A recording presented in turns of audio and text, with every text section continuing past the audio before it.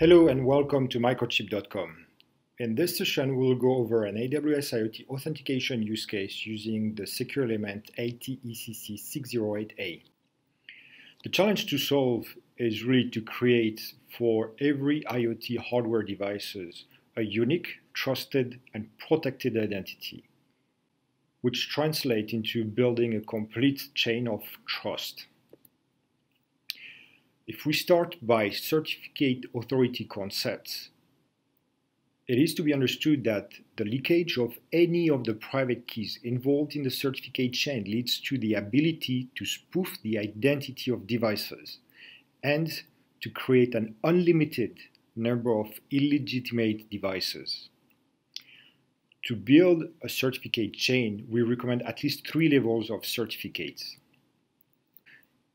The higher authority is the Ecosystem Certificate Authority, which is typically stored and protected by Ecosystem Authority. The layer underneath is the Intermediate Certificate, which is stored on a computer on a device manufacturing line.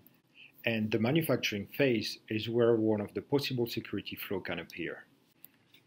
And finally, the lower level certificate is the device level certificate, which is typically stored in the memory of the IoT device. Here, another security flow appears. Let's jump into the AWS IoT use case. Certificates are issued originally by the customer at their site. There is a root of trust that's being selected that can come from the OEM capabilities themselves, a third-party trusted certificate authority, or by simply using the Microchip Certificate Authority Kit. From that, an OEM certificate is generated. Then, a secret exchange process between Microchip and the customer starts to allow the generation of certificates on the customer's behalf in Microchip facilities. The OEM registers the production signer certificates into their AWS IoT accounts using the Bring Your Own Certificate function. Then, device certificates are loaded into the ATECC608A in Microchip Secure Factories and signed to generate a private key. The private key remains in the secure element for the whole life cycle of the product.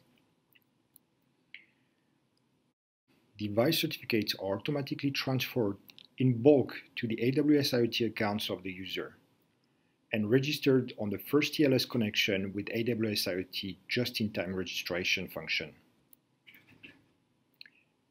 At the end of the process, every customer has their own customized part number.